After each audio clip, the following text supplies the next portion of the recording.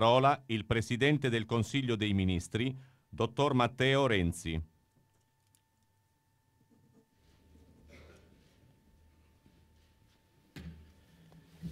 Signor Comandante Generale, Generale Giuliani, Generale Robusto, gentile Roberta, caro Angelino, caro Marco, cari colleghi del Governo, autorità tutte. Credo che sia un momento di grande importanza per l'Arma dei Carabinieri, il momento di un eh, passaggio di testimone alla guida e saluto anch'io il eh, generale Gallitelli ringraziandolo per il lavoro che ha svolto, un momento importante nella vita delle nostre istituzioni, un momento di significativa rilevanza anche nella cornice nazionale e internazionale testimoniata in modo quasi simbolico ancorché presumibilmente eh, casuale, dal fatto che proprio ieri abbiamo approvato un importante decreto legge che introduce significative novità. Ma non c'è dubbio che questo elemento di novità si colloca nell'ambito di una tradizione, una tradizione eh, plurisecolare per l'arma e una tradizione che vede le istituzioni italiane essere nelle condizioni di dimostrarsi forti, autorevoli, solide. Ciò che è rappresentato plasticamente dalla figura del supremo garante dell'unità nazionale e del gioco costituzionale e permettetemi dunque anche a me di unire la mia voce a quella del comandante generale nel omaggiare il Presidente della Repubblica Sergio Mattarella augurandogli di cuore i migliori auguri di buon lavoro. Tuttavia Vorrei cogliere questa occasione con il suo permesso, signor Comandante Generale, non per eh, lanciarmi in una valutazione o dissertazione su ciò che sta avvenendo nei confini nazionali e fuori, e neanche per rispondere, spero di non deluderla, alle sollecitazioni che ella ha avuto eh, la cortesia e devo dire anche il dovere istituzionale di porre la nostra attenzione rispetto alla situazione dell'arma, eh, valga il mio grazie non tanto personale ma quello istituzionale per ciò che avete fatto in questo 2014 appena trascorso. E l'assoluta certezza che il 2015 che si è aperto sarà un anno in cui in collaborazione con le altre forze armate, con le altre forze di polizia, il lavoro che svolgerete e svolgeremo tutti insieme sarà all'altezza della qualità che l'Italia pretende e che ha diritto di avere dal servizio di tutti e di ciascuno. Le sono davvero grato e sono assolutamente impegnato assieme alle colleghe e ai colleghi del Governo perché i punti che lei ha sollevato nella sua relazione e nella sua introduzione siano ogni giorno oggetto di un lavoro quotidiano, duro, faticoso, ma su questo il Ministro ha già avuto modo di eh, ribadire e sottolineare un lavoro anche bello, impegnativo e affascinante. No, io con il suo permesso, signor Comandante, vorrei rivolgermi ai, agli allievi, agli allievi ufficiali, alla rappresentanza che è qui adesso e anche, se mi permette, a chi in questo momento vive un momento di formazione, di educazione, eh, perché il generale Robusto introducendo ha sottolineato come tutte e tutti voi la mattina, durante l'alza bandiera, rivolgete il primo pensiero a questo simbolo dell'unità nazionale, al simbolo eh, del nostro Paese. Ovviamente immagino che dopo qualche giorno, dopo qualche settimana, dopo qualche mese, pur mantenendo la bellezza e l'emozione del momento, ciascuno si abitui a vivere quello come un momento quotidiano, tutti noi ci abituiamo a ciò che facciamo, magari non ci rendiamo neanche conto che svolgiamo il nostro servizio in luoghi straordinariamente belli e affascinanti, perché diventa abitudine.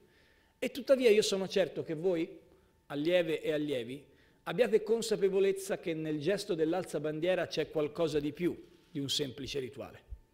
C'è l'impegno quotidiano ribadito ad essere all'altezza della grande storia del nostro Paese è come se con l'alza bandiera ciascuno di voi dicesse a se stesso devo essere degno dell'Italia. Ed essere degni dell'Italia non è facile, perché che, che se ne dica e qualsiasi racconto automortificante e distruttivo su ciò che noi siamo, il nostro Paese è uno straordinario faro di civiltà nel mondo. Il nostro paese è uno straordinario punto di bellezza, faro di bellezza nella cornice complicata internazionale. E quindi l'alza bandiera non è semplicemente un gesto, un rituale, un momento. L'alza bandiera è ribadire a ciascuno di noi l'impegno ad essere all'altezza della grande sfida che dobbiamo vivere quotidianamente ricordando a noi stessi di essere italiani. E poi voi state studiando per diventare comandanti, per comandare. C'è un racconto nel nostro paese tradizionale per cui il comando è quasi una parolaccia. Ha le sue radici storiche. Noi abbiamo vissuto la dittatura come una eh, ferita non risarcita nel racconto di noi stessi. La parola comando è vista con preoccupazione. Pensateci. Quante volte nella terminologia, anche semplicemente politica, si dice attenzione all'uomo solo al comando? In realtà non ha niente di militare né di politico. Uomo solo al comando è una straordinaria espressione di un grande radiocronista che iniziò la sua radiocronaca raccontando di un uomo solo al comando, che era Fausto Coppi, che stava scrivendo una pagina bellissima di, lettera, di, eh, di epica ciclistica in una tappa del Giro d'Italia. Ma non è questo il punto. L'idea è che ci sia un retropensiero per cui il comando sia una parolaccia. Il comando è un servizio, è un servizio al Paese, è un servizio che come tale non dura per sempre.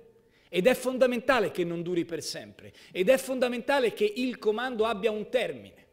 Perché nell'avere il termine si capisce che il comando non è a servizio della persona, ma a servizio delle istituzioni e del paese. Ma voi dovete comandare, avete questa responsabilità, l'avrete.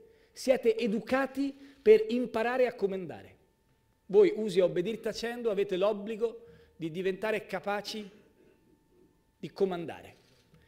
E in questo non facciamoci raccontare troppe storie. Nel comando c'è una componente di solitudine. Quando ci raccontano che tu lì non sarai mai solo, è una frase molto bella, molto commovente, fa piacere sentirsela dire, ma non è così.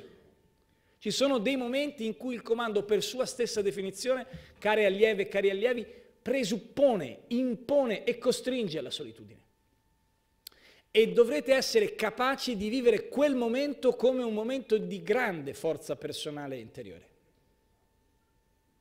C'è una frase di Dino Buzzati che io amo molto e che ritengo una frase molto bella che dice poco più in là della sua solitudine c'è la persona che ami. Ciascuno di voi ha una vita personale, l'avrà, vi faccio i migliori auguri, una vita familiare, una dimensione affettiva che è assolutamente cruciale nella vostra formazione come donne e come uomini, prima ancora che come carabinieri. E poco più in là della vostra solitudine ci sarà sempre la persona, le persone che amate. Ma lasciatevi dire che anche nella gestione della vostra solitudine sta un pezzo della formazione di oggi. Vivete un momento nel quale l'Italia è chiamata ad affrontare sfide che tutte le volte definiamo contemporanee. Ma quante volte nelle inaugurazioni sentiamo sulla corruzione, sulla criminalità, sulla lotta all'illegalità le stesse parole? E tuttavia non sono le stesse, perché chi tra i vostri colleghi vi ha preceduto vent'anni fa aveva certo il problema di combattere la criminalità, la corruzione e l'illegalità, ma aveva altri momenti, altre storie, altre stagioni. Io non so dire se sia meglio o peggio la fase che stiamo vivendo è diversa. A chi rimpiange i tempi del passato ricordo che quando la mia generazione non andava all'asilo, o forse andava all'asilo, i ragazzi che hanno oggi la vostra età si sparavano per le strade, carabinieri venivano uccisi per le strade nel momento del terrorismo nazionale. Quanti dei vostri colleghi addetti alla scorta e non solo alla scorta hanno perso la vita con una mafia, una criminalità che allora, anche adesso purtroppo, ma in modo maggiore allora, esprimevano la propria barbarie, la propria violenza, in particolar modo con atti di sangue. Oggi il fenomeno continua, è sempre forte, è sempre pericoloso, si estende geograficamente, muta però la propria forma e si presenta non soltanto entro i confini nazionali. I tempi cambiano, le sfide sono diverse. Ma voi, lasciatemelo dire come augurio, non accontentatevi mai della banalità di un titolo di giornale, della banalità di un pensiero da campagna elettorale. non accontentatevi mai della banalità dei luoghi comuni. La vostra sete di giustizia non sia placata dalla banalità di un titolo a nove colonne. Un'inchiesta finisce quando la sentenza passa in giudicato, non quando si va sui giornali con i titoli a nove colonne, anche se questo fa notizia. E il rispetto per le donne e gli uomini a cui magari su richiesta di un giudice toglierete la libertà, dovrà costituzionalmente prevedere sempre e comunque la presunzione di innocenza che il nostro padre costituente, che i nostri padri costituenti vollero a garanzia della qualità della nostra civiltà giuridica, perché siete figli di una cultura che è una cultura che ha scritto la storia della giustizia nel mondo. E tuttavia sappiate che quella sete di giustizia non si placherà mai, perché sempre e comunque avremo bisogno di un paese più all'altezza di una lotta senza quartiere alla criminalità. Sentite su di voi il peso e la responsabilità dei vostri colleghi che hanno perso la vita per quell'ideale di giustizia. Pensate alle loro famiglie. Quando pensate alle vostre mamme, ai vostri papà, alle, ai vostri fratelli, alle vostre sorelle, che vedono in voi con orgoglio, perché si può essere orgogliosi, con malcelato orgoglio ciò che state facendo, ricordatevi sempre che ci sono dei fratelli, delle sorelle, delle mamme e dei papà che hanno visto perdere i loro figli e i loro congiunti e i loro cari perché con la vostra divisa difendevano il nostro paese. Siate assetati di giustizia anche per loro, anche in nome loro. E poi avete un momento nel quale stiamo vivendo con eh, difficoltà, certo, ma anche con grande attenzione, la grande sfida europea. A chi dice che l'Europa non serve a niente, provate a pensare ai vostri nonni che 70 anni fa perdevano la vita al confine con la Francia, che venivano internati nei campi di sterminio. Pensate che oggi il nostro massimo scontro con i francesi e con i tedeschi, se non volete andare sui parametri e sulle questioni economiche, al massimo in una sfida di Champions League, Pensate che 70 anni di pace in Europa non ci sono mai stati. Pensate che l'Europa è la casa per la quale grandi idealisti in politica, nella società civile, nel mondo accademico e culturale hanno dedicato le energie più belle e più profonde. Certo questo non significa che l'Europa sia lì scontata. Quello che sta accadendo in queste ore ai confini dell'Europa, tra Russia e Ucraina, nel cuore dell'Europa a livello economico, con la riflessione che anche domani porteremo al Consiglio europeo sul futuro del rapporto tra crescita e rispetto dei parametri di bilancio, impone e richiede a ciascuno di voi di essere orgogliosi cittadini italiani, ma anche capaci di amare l'Europa come casa della civiltà del mondo. E contemporaneamente in questa Europa che cambia non dimenticate mai che il vostro ruolo di italiane e di italiani è di essere un ponte sul Mediterraneo, sui Balcani. Vostre e vostri colleghi hanno vent'anni fa scritto pagine importanti nel rapporto con i Balcani. Oggi che l'Europa si sta allargando ai Balcani e che deve finalmente aprire lo sguardo con maggiore determinazione su ciò che sta accadendo nell'altra riva del Mediterraneo, non dimenticate che questo significa essere donne e uomini del nostro tempo, comandanti, carabinieri italiani. E ancora, quanto sarà importante il vostro ruolo quando tra 40 anni qualcuno di voi sarà il comandante generale dell'arma dei carabinieri. Il Presidente del Consiglio da quel dì non sarà, saranno già cambiati chissà quante decine di Presidenti del Consiglio, chissà quanti Ministri della Difesa, non vorrei che, visto il sorriso sul Presidente del Consiglio, vorrei dire che tutti voi cambierete, non, non, poi possiamo discutere con quale ritmo e con quale tempo, ma vorrei che nessuno di voi avesse la pretesa più grande della, della, di quella di altri. Ma voi ci sarete e sarete le istituzioni. Comanderete l'arma dei carabinieri a livello provinciale, regionale, con tutte le varie peculiarità. Qualcuno di voi guiderà l'arma dei carabinieri in tempi profondamente diversi da quelli che noi immaginiamo. Eppure lo farete, io credo, consapevoli, non, come si dice in questi casi, di essere nani sulle spalle dei giganti. Non è questa l'espressione giusta. Noi abbiamo una grandissima storia, ma onorare la bandiera non significa pensare che quelli di prima erano degli eroi e noi siamo piccolini.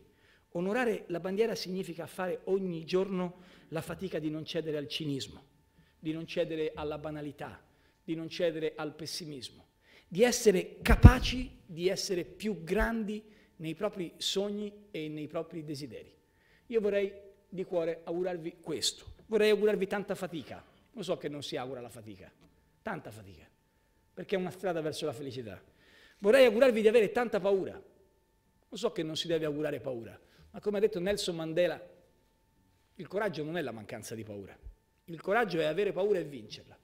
E vorrei augurarvi anche un'altra cosa che non si augura quasi mai, tanta ambizione, perché l'ambizione slegata dalla capacità di avere un disegno collettivo e una capacità di relazione è un male, ma l'ambizione intesa come desiderio di puntare in alto è quello tipico del fatto di essere appartenenti a un grande paese e a una grande storia. Siate fieri della vostra appartenenza all'arma dei carabinieri, siate fieri del fatto che tutti insieme noi abbiamo la responsabilità di condurre questo paese in una storia difficile da decifrare, ma bella, che è il nostro futuro. Perché, e questo permettetemi di chiudere con questo, perché questa è la storia che, che troppo spesso noi ci raccontiamo.